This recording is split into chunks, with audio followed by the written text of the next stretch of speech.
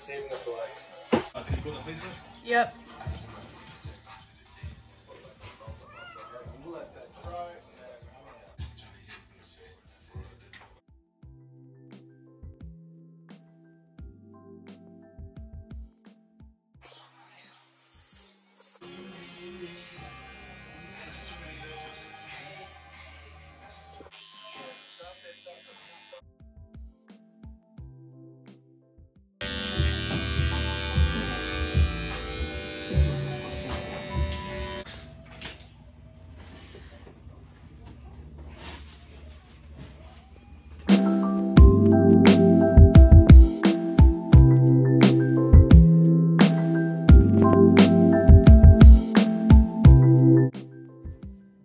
Hey, it's literally months.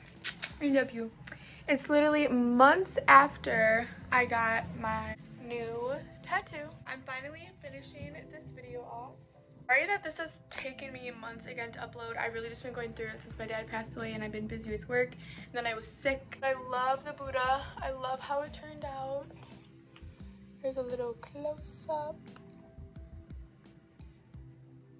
It means a lot to me about just zen and peace and serenity. I'm really happy with it. I can't wait to finish my sleeve. I'm probably gonna do a couple symbols right here and then the rest we're going to fill with mandala. Um, I might do a little something here too, um, but definitely some symbols here. But yeah, I'm really excited to finish it. I want to finish it by the summertime. I'm also gonna have more house renovation vlogs really soon, so stay around for that and more art videos.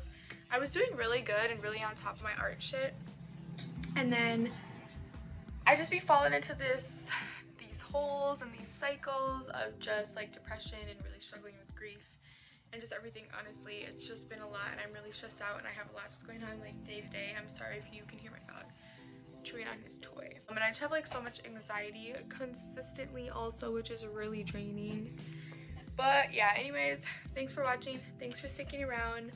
More house vlogs and art videos super soon. Yeah thanks for the support. I hope you like my tattoo vlogs because they're never gonna stop. Peace